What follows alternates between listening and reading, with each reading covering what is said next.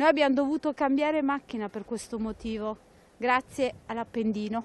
Io ho un gasolio Euro 3, però sono favorevole al blocco di tutti i veicoli, benzina e gasolio, come si faceva quando c'era la crisi energetica, perché a questo punto per bloccarne un terzo che poi quasi tutti sfuggono mi sembra più logico bloccarli tutti. È un palliativo, è una soluzione temporanea che si può utilizzare per tamponare, ma visto che continua a ripetersi la situazione probabilmente le misure che andrebbero adottate sarebbero diverse, dovrebbero essere diverse. Se la situazione è questa perché l'aria è malsana penso sia giusto. Potrebbe esserlo, iniziare con queste iniziative sarebbe la soluzione migliore. Il decreto clima che dà 1500 euro di bonus per la mobilità sostenibile se si rottama la vecchia auto è una soluzione? No, perché infatti io non ho aderito.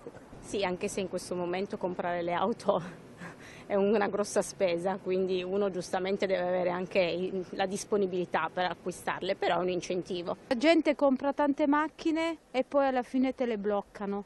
L'incentivo dei mezzi pubblici eh, piuttosto che gli incentivi concreti, veri, reali ad acquistare nuove auto, che secondo me adesso non ci sono perché con 1500 euro non compri in momenti neanche un monopattino elettrico, per cui figuriamoci una macchina nuova. Bisogna vedere se c'è una convenienza, un ritorno anche perché uno magari ha comprato un'auto, ha speso dei soldi e non è con 1500 euro che risolvi la situazione. Ecco. Eh, cosa si potrebbe fare? Sai che non so, perché tanto ne, ne, cioè, ne studiano una e ne fanno subito un'altra che non va bene. Comunque in città bisognerebbe proprio puntare sul trasporto pubblico, perché è inutile che uno per 500 metri, un chilometro utilizzi la macchina.